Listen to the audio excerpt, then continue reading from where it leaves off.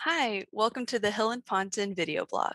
I'm attorney Rachel Cheek. Today, we're going to be talking about what you can do when the VA does not assign the proper effective date. To start, at the most simple level, we're going to use a basic service connection claim for our example of getting into this topic. So, as you probably know, when the VA grants service connection, there are some other factors that they consider. So not only do they decide whether the condition that you're claiming is service connected, they also assign a rating, which is going to affect what the size of your VA compensation monthly benefits are. They also assigned an effective date, and the effective date is really big when you're looking at a claim that has been going on for a long time. So it's been on appeal for a couple years, it's been on appeal for 10 years. I've had cases like that. If you've got a case that's been on appeal since, say, 2016, and you get granted in 2020, you get assigned a 30% rating. Not only are you going to start getting your 30% payments following the month of the rating decision, you're also going to get back pay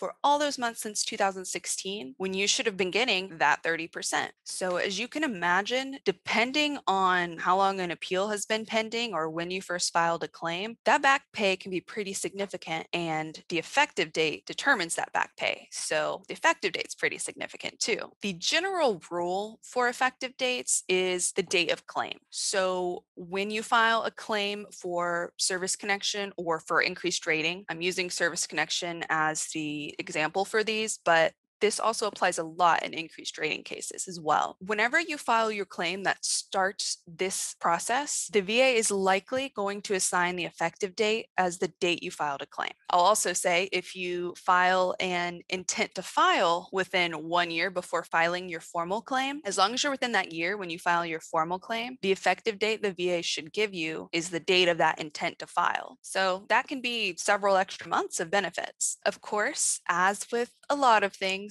the VA often gets the effective date wrong, which in turn affects the size of the retroactive benefits that you may be receiving. An example of this I can give you that I see a lot is a veteran applies for an increased rating that's first denied and the veteran appeals they send you to another C&P exam that shows that you should have an increased rating the va then in turn when they issue a decision granting that increased rating a lot of times they'll go from the date of the exam rather than the date of the claim. To me this is always very frustrating because obviously your condition didn't suddenly get worse the day you had an exam. Otherwise why would you have filed the claim six months ago? But the va does it a lot. Another example that I see happening a lot is when a veteran has a pending appeal for say, service connection for back condition. That appeal has been pending since 2018. In 2020, while the appeal is still going on before a final decision has been issued, the back claim is still pending, the veteran files a claim for individual unemployability. If your claim for service connection for the back condition is granted, and then later your application for individual unemployability is granted, the effective date of the individual unemployability benefits legally should go back to the date that you filed filed your claim for service connection for your back condition. This is assuming a lot of things. This is if your back condition is what contributes to you being unable to work and you have an appropriate combined rating. We don't have to get into all of that right now. What you should know is if you file a claim for individual unemployability while you've got another appeal going on, the VA assigns effective date of individual unemployability as the date they received that 8940. That's probably wrong. So there are some examples of when VA gets it wrong, but what can you do when that happens? The easiest answer is you file an appeal. And when you file your appeal, you need to specifically state you disagree with this decision because you should be entitled to an earlier effective date for whatever the condition is individual unemployability, back condition, PTSD, whatever it is. If you're applying for increased rating and you get the wrong effective date, my tip is for you when you file that appeal, don't say earlier effective date for depression, because if you were granted service connection for depression in 1985 and then 2018, you file a claim for increased rating, well, they're not going to go all the way back to 1985 to give you that increased rating. And sometimes the VA will read that very literally. What you need to do is say you are requesting an earlier effective date for the 70% rating of depression or whatever the rating is that you were assigned that you believe needs needs to go back to the date that you filed your claim for increased rating. Okay, that's easy enough. That's the appeal. Well, how do you prove it? The same way you prove anything at the VA. You can show this with medical records. The VA says your condition didn't get worse until 2019, and you've got a medical record showing that you fit the criteria for a higher rating in 2015. There you go. You can also get a letter from your doctor. You know, you've got a doctor that's been treating you throughout the course of this. They can look at their records and they can say, Mr. Smith has been suffering from this condition as long as I've been treating him since 2005. You can also get lay statements, which are just statements from friends, family, coworkers, people who've been able to observe you and your symptoms. And you can also get a medical opinion from, you know, your own doctor or an independent doctor. Anything to show your condition did not rise to its current level at the time that VA has granted your effective date. What I mean by that is showing that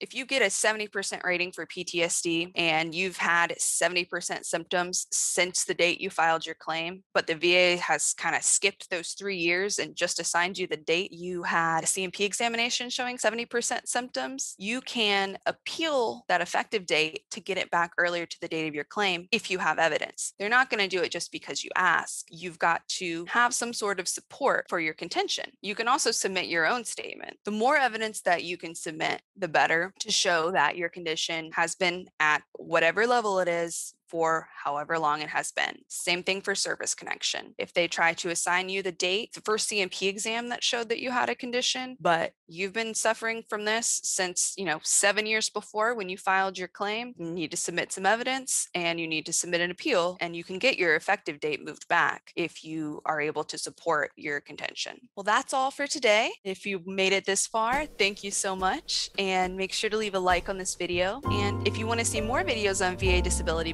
benefits, subscribe.